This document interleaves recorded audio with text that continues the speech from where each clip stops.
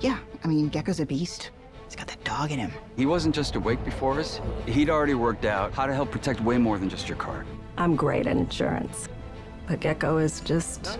He's something else. Yeah, we're talking renters, jewelry, pet insurance. And then he'd come back at night and study film. Riddle me this. If it's so easy a caveman can do it, why is he working so hard? From cars to home to pets, it's easy to Geico.